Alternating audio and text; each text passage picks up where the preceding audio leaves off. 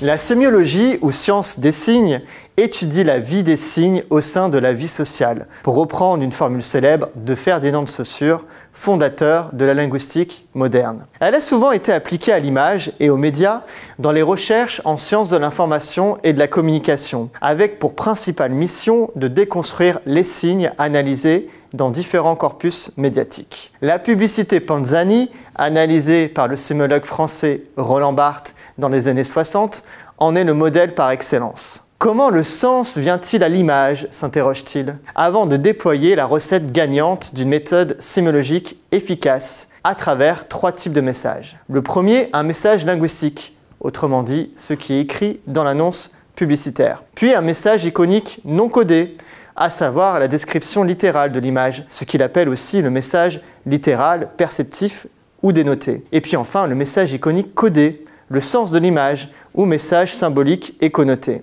Mais la sémiologie n'a pas tardé à envahir d'autres champs d'expertise et objets communicationnels, comme la marque dans les travaux de recherche en sciences de gestion. La sémiologie ou sémiotique de marque s'attache alors à décortiquer les différents corpus de communication de marque, tels que le logo, la publicité, le packaging, les boutiques ou même les médias sociaux à travers différents types de signes. Ça peut être des signes de nature plastique comme les couleurs, les formes, matériaux ou autres substances matérielles utilisées par la marque dans sa communication, de nature iconique comme les logotypes, mascottes ou produits emblématiques, linguistique, le nom, le slogan ou bien le discours de la marque. La sémiologie de marque permet de différencier les expressions de marque suivant les éléments sémantiques, L'Oréal parce que je le vaux bien, figuratif, les petits fruits anthropomorphisés d'Oasis, ou bien symbolique, le dépassement de soi pour Nike. Cette discipline est donc de plus en plus enseignée dans les écoles de communication et de commerce afin de faire réfléchir les étudiants au sens véhiculé